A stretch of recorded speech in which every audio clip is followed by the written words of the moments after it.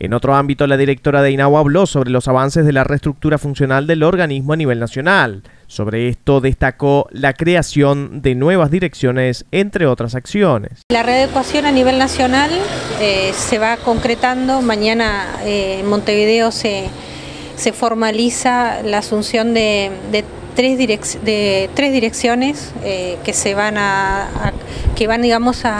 a, avanzar en esta nueva reforma, ¿no? Después, esas direcciones que son nuevas para INAU, eh, se van a ir bajando eh, lineamientos para también manejarlo a nivel regional, que es regional y departamental, que va a implicar cambios también acá en Artigas y en todos los departamentos.